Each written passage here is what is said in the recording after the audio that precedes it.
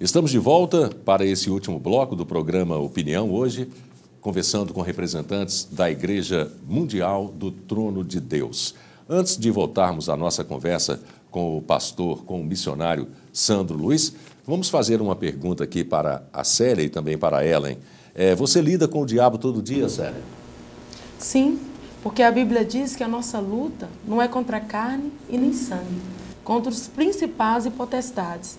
Então, é, como é que o diabo se manifesta no dia a dia? Através das obras da carne, que diz em Gálatas 5,19, que é porfia, inveja, ciúme, prostituição, é, vicissitudes, bebedices. Então, o tempo todo o inimigo ele tenta nos oferecer. Mas o que, que a gente tem que fazer? Aquilo que o pastor Sandro disse anteriormente. Vamos lá em Tiago 4,7, onde diz: Sujeitai-vos a Deus e resisti ao diabo. Então, o tempo todo a gente está se entregando para o Senhor Jesus para ter força de combater o mal. Você vence o diabo todos os dias? Sim.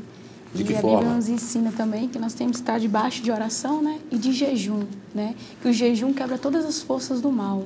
Né? Porque, como já disseram anteriormente, né? que a nossa luta não é contra carne nem sangue. Não é bater boca, né? não é brigar, é orar. É jejuar e orar. Porque nós somos a sujeita a tudo. Né? Provocações.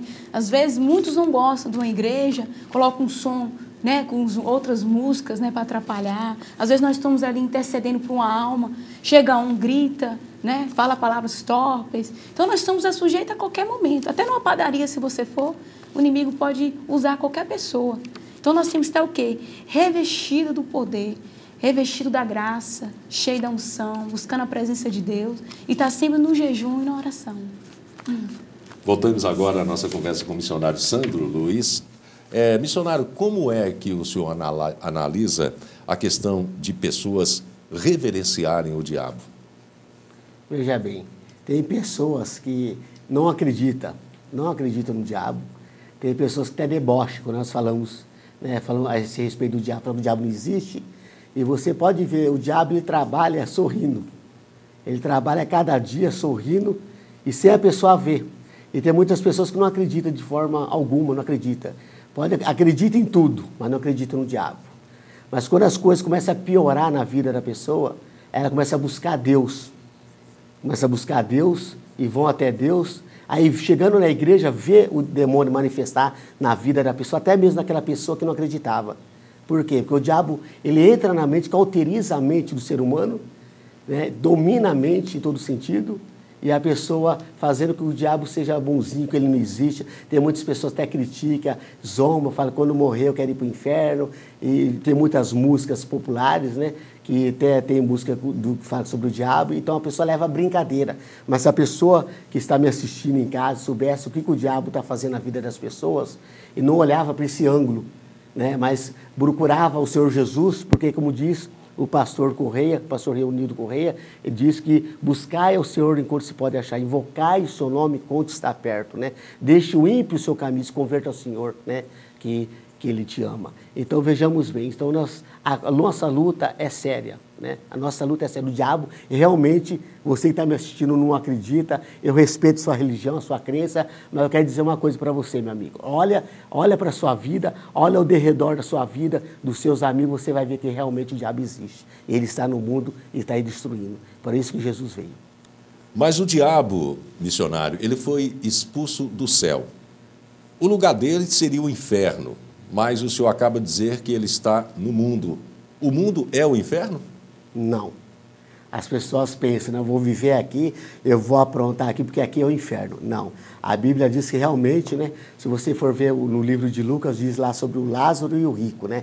Os do, um viveram uma vida abundância, o rico, e Lázaro era um mendigo, que vivia mendigando. Né? E os dois morreram, no mesmo dia morreram. E o, o pobre, ele que aceitou a Jesus Cristo como seu Salvador, ele foi para o seio de Abraão, ou seja, um lugar de separado, um lugar de paraíso, lugar do paraíso, vamos dizer assim, do paraíso. E o, e o outro, que era o rico, ele foi para o lugar de tormento. Depois que desceu a sepultura, ele foi para o lugar de tormento. A Bíblia diz que, é, no, no grego, diz a Seol, né? que é lugar de tormento. Ele está no lugar de tormento. Então, quando a pessoa morre, né? Muitos já falam, morreu, já foi lá para o céu. Não. A Bíblia diz que o espírito volta para Deus, né? O espírito daquele que morre. E aquele que morre é aquele que morre, que está com o Senhor Jesus, que creu, viveu, entregou sua vida para o Senhor Jesus, está sob o seio de Abraão. Né? E aquela pessoa que morreu sem Cristo, ela já está condenada para o inferno, já está condenada. A Bíblia diz, afirma que tem duas mortes.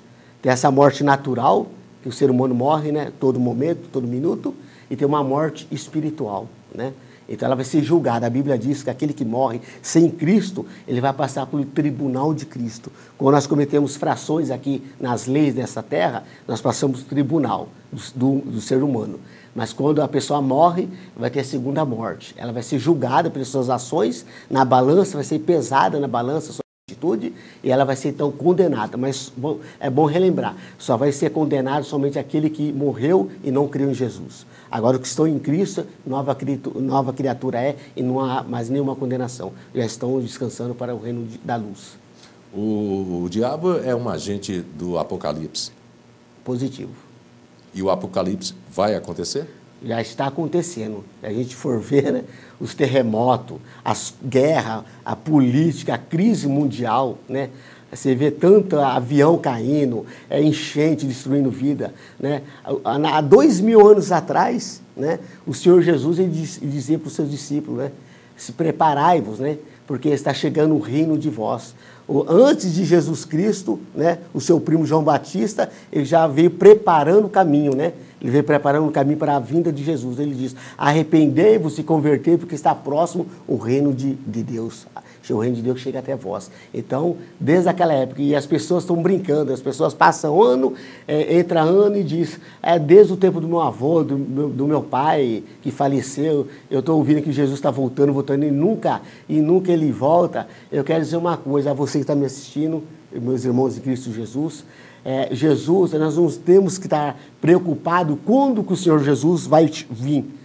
Nós temos que estar preocupados, nós temos que estar preparados no dia de hoje. O importante é se a gente morrer. Tanta, tantas horas morre gente com infarto, morre gente de acidente, a criança mal nasce, já, né, já morre no parto. Então, você está preocupado, tem que estar preocupado se nós vamos estar preparados para Jesus, para encontrar com Jesus. Ao mesmo tempo, se eu sair daqui agora há pouco e chegar a morrer, acontecer alguma coisa comigo, eu tenho que estar preparado com convicção se eu vou estar, na, vou estar é, prestes a ter a salvação em Cristo Jesus. Então, a preocupação, eu vejo muitos preocupando, né?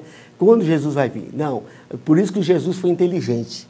Ele disse para os seus discípulos, os discípulos fizeram pergunta para ele, disseram, quando vai, quando vai ser a tua vinda? Ele disse, nem o Pai, nem o Filho, nem os anjos sabem a vinda do Filho do Homem. Ou seja, né, porque se soubesse a vinda de Jesus, muitos estariam estaria se preparando, como todo ano novo, né, Natal, a pessoa se prepara para receber a, as famílias que vêm de longe. E, então, é por isso aí que Jesus não determinou o dia nem a hora. Bom, a conversa está ótima, não é? A gente está desfazendo a obra do diabo. Com certeza. Vamos continuar desfazendo agora em casa, na igreja, não é? Fazendo nossas orações. Eu queria agradecer, missionário, e desejá-lo muito sucesso e longa vida. Né? Você vai sair daqui agora, não vai morrer, vai viver Com muito certeza. ainda para combater Com esse certeza. diabo, não é? Ellen, muito obrigado, viu? Foi um prazer recebê-la. Célia, muito obrigado também. Não é? Então, só para reiterar, hoje é, teremos o início da programação que se estenderá até domingo, não é? Uhum. Parabéns para vocês. Fiquem com Deus, todos vocês, vocês de casa também. Fiquem com Deus e até a nossa próxima edição do programa Opinião. Boa tarde para vocês. Boa tarde. Boa tarde. Boa tarde.